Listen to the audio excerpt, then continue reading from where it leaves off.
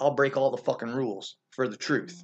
Uh, rescinding state and federal contracts, which is in an inorganic system called the judiciary system. I went to the state headquarters, North Carolina, DMV, turned in everything. And she gave me a sealed signed document stating that I do not hold a contract with the state anymore.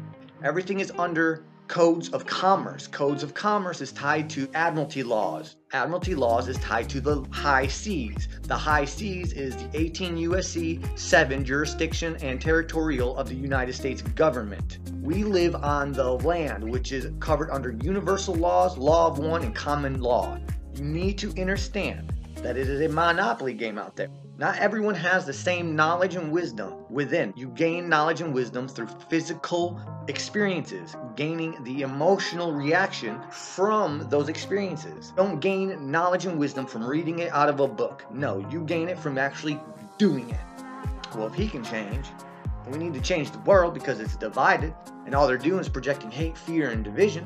Let's change the person in the mirror because that's the only person you can change. With that being said, Always remember to keep the door open for the person behind you, to pat the person on the back in front of you, and smile to your left and right, and leave with the divine heart that you are, because you are the pure essence of life itself.